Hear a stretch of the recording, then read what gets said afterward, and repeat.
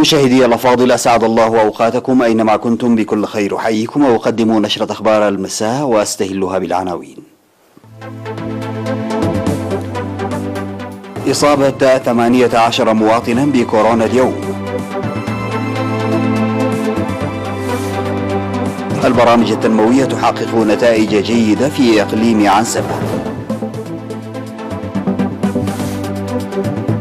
التنسيق الشعبي والحكومي يسهم في إنجاح برامج 2020 قتلى في تحطم طائرة عسكرية نيجيرية لدى اقترابها من مطار أبوجا مشاورات أمريكية وأوروبية تبحث ملفات الصين وميانمار ونووي إيران. اكتشاف أول حالة لإصابة البشر بسلالة H5N8 من إنفلونزا الطيور. السلام عليكم ورحمة الله. أعلنت وزارة الصحة بأن الفحوصات المخبرية التي أجريت اليوم الثاني والعشرين من فبراير في مراكز العزل بإقليمي الجنوبي والأوسط أظهرت إصابة 18 مواطنا بفيروس كورونا. وكانت 15 من الإصابات الثماني عشر في الإقليم الجنوبي منها خمسة في سجنيتي وأربعة في صنعفة واثنتان في دباروة واثنتان في مندفرة واثنتان في عدخالة وثلاث إصابات في أسمرة بالإقليم الأوسط. في غضون ذلك ثمانية عشر مريضا أحد عشر منهم في الإقليم الأوسط وخمسة في إقليم عنسبة واثنان في إقليم شمال البحر الأحمر. بهذا بلغ مجمل أعداد الإصابات بفيروس كورونا في البلاد حتى اليوم 2703 إصابة شوفي منها 2068 ووفاة سبعة مرضى ولا يزال 628 مريضا يتلقون الرعاية الصحية في المستشفيات. وزارة الصحة 22 من فبراير 2021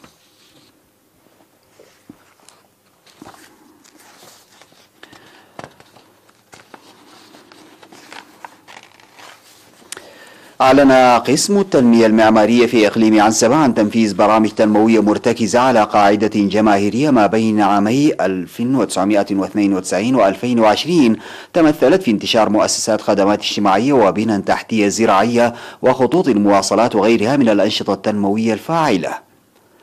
وأوضح المدير العام للقسم السيد تخستي أسقدهم لوكالة الأنباء الإريترية منح أنشطة توسيع وتطوير مؤسسات الخدمات الاجتماعية الأولوية.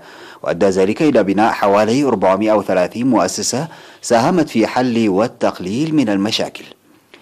وقال السيد تخستي إن التعليم والصحة من أهم مؤسسات الخدمات الاجتماعية التي منحت الأولوية. لذلك تم بناء أكثر من 204 و54 مؤسسة تعليمية و37 مؤسسة صحية خلال سنوات الاستقلال الماضية. وكذلك أكثر من 140 من مشاريع المرافق الخدمية و150 من مشاريع البنى التحتية الزراعية.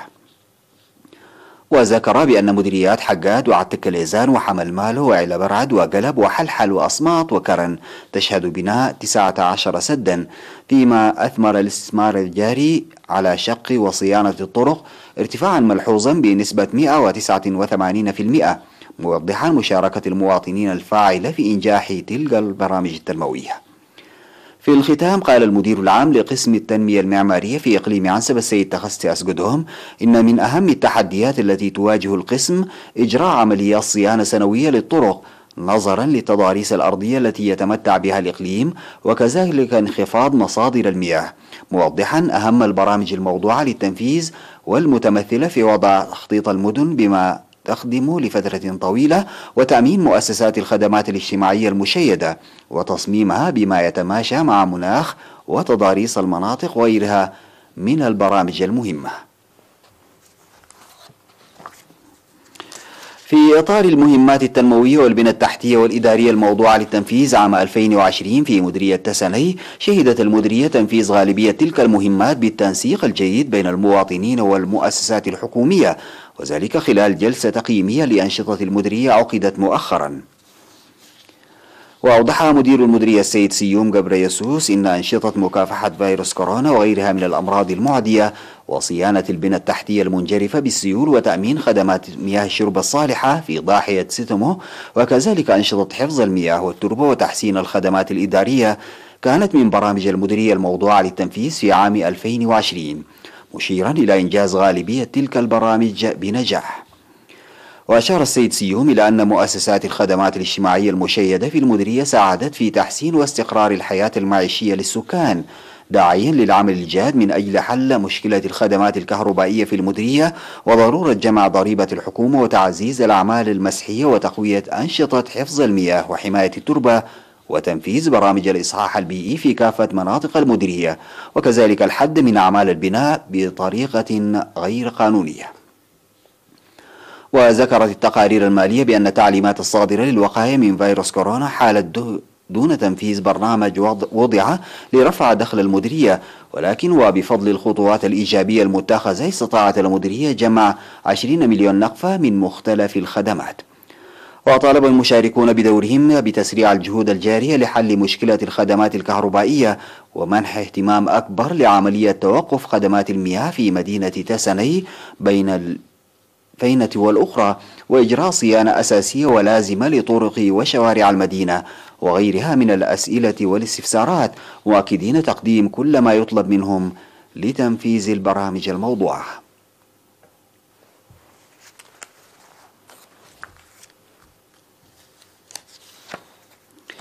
أوضح مكتب وزارة الزراعة في مديرية عد قيح إنتاج محصول وفير من بذور البطاطس المحسنة التي وزعت على المزارعين.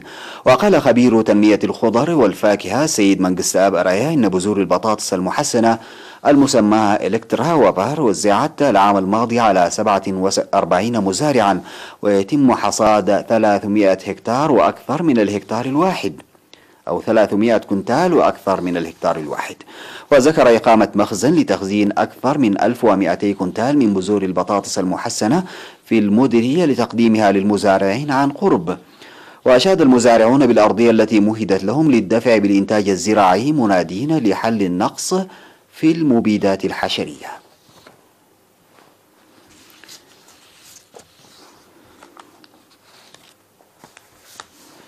بعد الفاصل سادتي أعود بالأخبار الخارجية.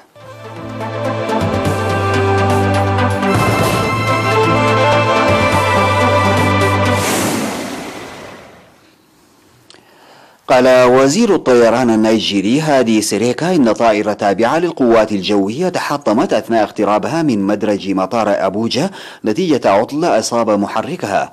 وأضاف سيريكا عبر حسابه على تويتر أن الطائرة العسكرية وهي من طراز كينج إير تحطمت بالقرب من مدرج مطار أبوجا بعد الإبلاغ عن عطل في المحرك بينما كانت في طريقها إلى مدينة مينا الواقعة على بعد 110 كيلومترات شمال غربي أبوجا.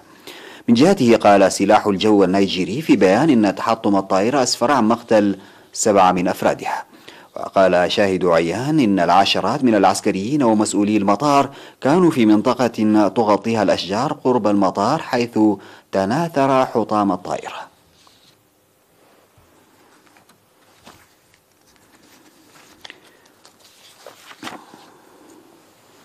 يعقد وزراء خارجية الدول الأوروبية مشاورات في بروكسل بشأن الاستراتيجية تجاه روسيا. في حين سيفعل الاتحاد الأوروبي للمرة الأولى نظامه العالمي للعقوبات في مجال حقوق الإنسان ضد الكرملين وفق ما أفادت به دول عدة. وسينضم وزير الخارجية الأمريكي أنتوني بلينكن إلى مشاوراتهم في اتصال عبر الفيديو. وسيرد وزراء خارجية الدول الأوروبية على رفض موسكو بشكل قاطع مطالباتهم بالإفراج عن المعارض الروسي أليكسي نافالني والإهانة التي تعرض لها موفدهم مسؤول السياسة الخارجية والأمن بالاتحاد جوزيف بوريل خلال زيارته إلى موسكو مطلع الشهر الحالي. كما ستطرح في هذا الاجتماع ملفات عدة من بينها عودة الولايات المتحدة إلى الاتفاق النووي الإيراني والرد على الانقلاب العسكري في ميانمار وتعزيز الصين قبضتها على هونغ كونغ وفق ما أفاد به مصدر أوروبي.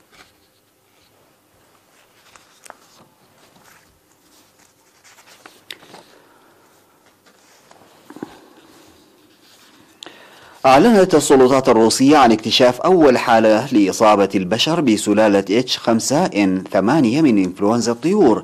خبراء مركز فيكتور الحكومي الروسي لعلم الفيروسات والتكنولوجيا الحيوية اكتشفوا المادة الجينية لسلالة H5N8 من إنفلونزا الطيور لدى موظفي مصنع للدواجن الواقع في جنوب البلاد والذي تم رصد تفشي إنفلونزا الطيور فيه أواخر العام الماضي. وذلك وفقا لما قالت آنا بوبوفا رئيسة الهيئة الاتحادية الروسية المعنية بحماية حقوق المستهلك في تصريحات متلفزة. وأشارت بوبوفا إلى أن هذه تعد أول حالة لتسجيل إصابة البشر بسلالة H5N8 في العالم مشيرة إلى أن الخبراء في الوقت نفسه رصدوا تغيرات في أجسام المرضى واستجابة مناعتهم لإصابتهم. وقالت منظمة الصحة العالمية إنه لم تظهر عليهم أعراض ولم يتم الإبلاغ عن انتقال العدوى من إنسان لآخر. تم تأكيد ذلك؟ إذا تم تأكيد ذلك ستكون هذه هي المرة الأولى التي يصيب فيها فيروس H5N8 البشر.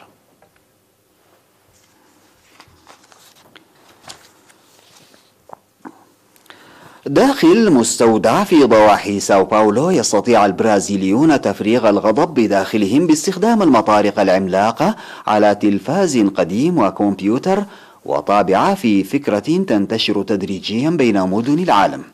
وقال صاحب الفكرة في مدينة ساو باولو البرازيلية والذي افتتح العمل قبل شهر إنه استقبل عددا لا بأس به من العملاء الراغبين في التنفيس خلال انتشار جائحة كوفيد 19 ويرتدي المشاركون بدلات وأخوذات واقية ويكتب كل واحد منهم قضاياه التي تزعجه على الجدران ومن ثم تصبح الكلمات هدفا لغضبهم.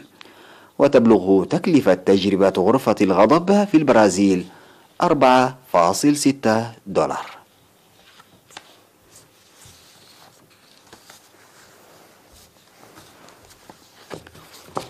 انتهت نشرة أخبار المساء قدمتها لحضراتكم من الفضائية الإلكترونية. شكرا لمتابعتكم. السلام عليكم ورحمة الله تعالى. وبركاته